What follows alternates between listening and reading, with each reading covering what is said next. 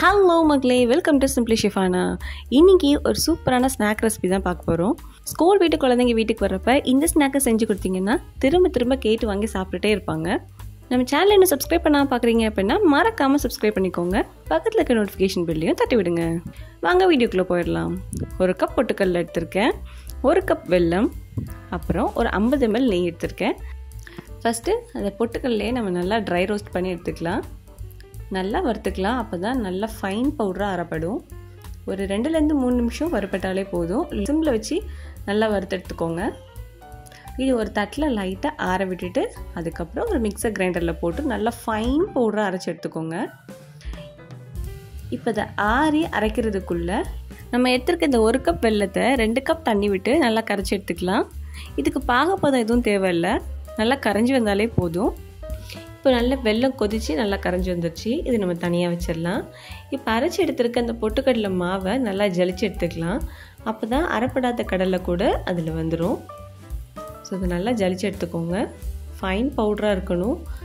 அப்போ தான் நம்ம செய்கிற ஸ்வீட் வந்து நல்லா சாஃப்டாக ஸ்மூத்தாக வாயில் வச்சோடனே கரையும். இப்போது அதே கடாயில் நம்ம எடுத்துருக்க ஐம்பது எம்எல் நெய் விட்டுக்கலாம். நெய் சூடாகணும்ல அவசியம் இல்லை. உடனே இந்த பொட்டுக்கடலை மாவை சேர்த்துருங்க.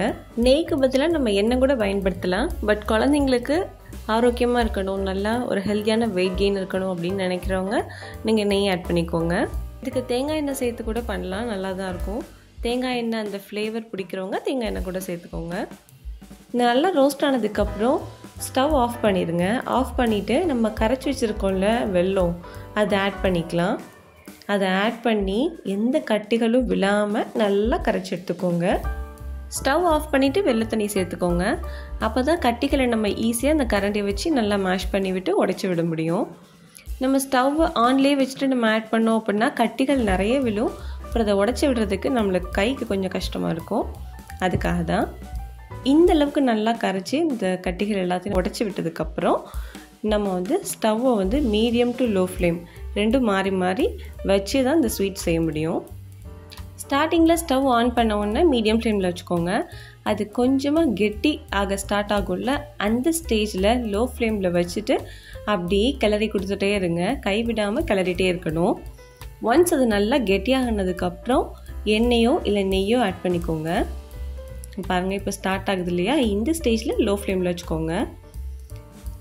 இது அந்த கடாயில் ஒட்டாமல் வரும். நல்லா உருண்டு திரண்டு அப்படி வரும். அந்த ஸ்டேஜில் கொஞ்சம் கொஞ்சமாக எண்ணெய் நெய் அப்படின்னு மாற்றி மாற்றி ஆட் பண்ணி இந்த ஸ்வீட்டை செஞ்சு முடிச்சிடலாம் ஈஸியாக ரொம்ப டேஸ்ட்டாக இருக்கும். ப்ளஸ் ஹெல்த்தியும் கூட.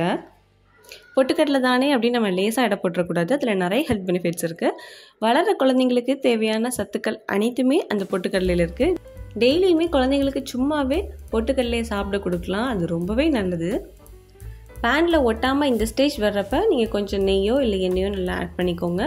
ஆட் பண்ணிவிட்டு அதை லோ ஃப்ளேமில் அதாவது சிம்மில் வச்சே நல்லா கல கிளறி கொடுத்துட்டே இருங்க. இந்த ஸ்டேஜ் வந்ததுக்கப்புறம் நம்ம ஒரு ட்ரேக்கு ட்ரான்ஸ்ஃபர் பண்ணிடலாம். அப்படி இல்லைன்னா ஒரு கரண்டியை வச்சு இப்படி கூட சர்வ் பண்ணிக்கலாம். ஒரு குழி கரண்டி எடுத்துக்கோங்க. அதில் இந்த பொட்டுக்கடலை அப்படி எடுத்து நீங்கள் தட்டில் வச்சிட்டிங்க அப்படின்னா அதே ஷேப்க்கு அப்படியே இருக்கும். ஸோ இது வந்து ஈஸியாக இருக்கும் சர்வ் பண்ணுறதுக்கு அப்படி இல்லைன்னா ஒரு ஸ்கொயர் ஷேப் ட்ரே எடுத்துக்கோங்க.